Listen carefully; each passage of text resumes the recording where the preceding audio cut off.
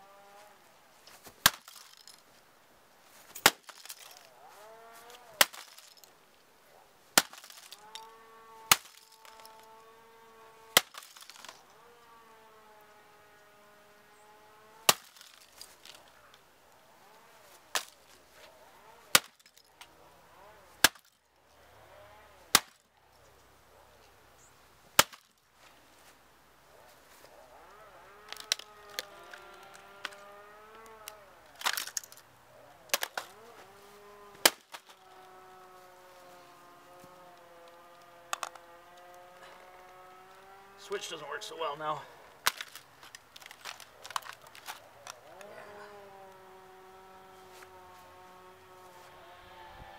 That was pretty satisfying.